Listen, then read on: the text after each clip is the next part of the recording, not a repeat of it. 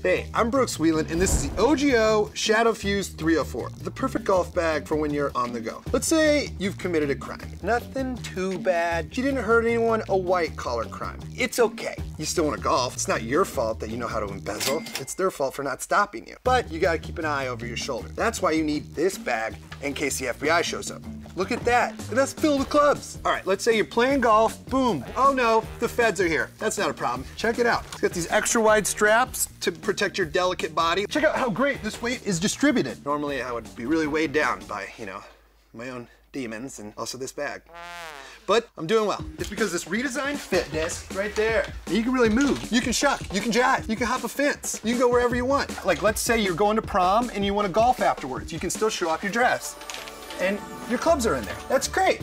Super easy to take off. Let's say the cops arrest you. You don't want them to mess with your clubs. You're like, one second, one second. Just set this guy down, super easy. Boom, there we go. Clubs are safe for when you get out of jail. You're not going to real jail anyway. You're going to nice jail. You're going to the jail in Goodfellas, you know? You're going to learn how to like make spaghetti and stuff.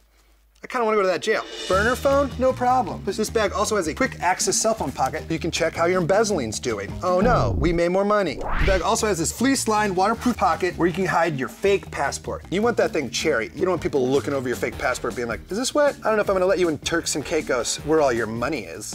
Behind that pocket, secret pocket, so you can fool even your business partners. I'm talking double passport. It's all yours now. This bag's also got a loop for alignment sticks, because, you know, golf isn't nerdy enough. I totally know how to use alignment sticks. When you're done with your nerd sticks, you and Bill Nye can throw them right back in the loop. And now people will talk to you. Also, check out this cool nook, perfect for like a Sharpie, and your golf club. Boom, and I'm out. I will see you in the Canary Islands. OGIO Shadow Fuse 304. Why don't you get one? See you later.